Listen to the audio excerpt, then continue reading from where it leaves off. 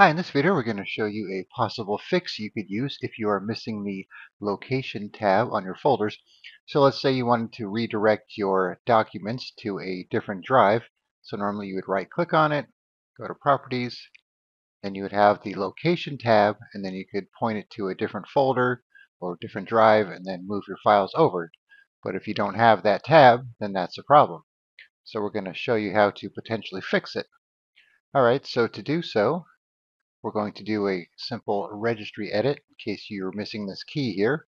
So what you want to do is go to this location. So we're going to copy this, open up registry editor by typing in regedit in the search box, clicking on registry editor, say yes to the UAC prompt. Alright, so now up in the address bar you could paste it in so you don't have to type it. Press enter Alright, so now we have this property sheet handler section here with these keys. So this is where this key is supposed to be right here.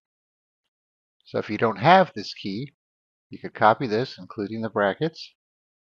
Go over to property sheet handlers, make sure you're on it. You can either right click here or right click in a blank area, new key, paste it in, press enter, and now you have that key so now let's go back to File Explorer and see what happens.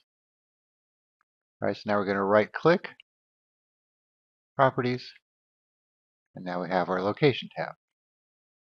And then same for, let's say, Downloads, Location tab there as well. Alright, so this is a method you could use to try and get the Location tab back.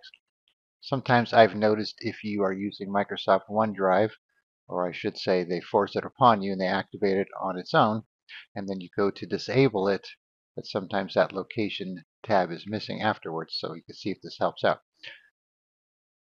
Alright, so once again, just copy and paste this text, paste it into the address bar of the registry editor, go down to property sheet handlers, make a new key, paste this in there, and you should be good to go. So I'll put this information in the description so you can just copy and paste it so you don't have to type it. Right, thanks for watching and be sure to subscribe.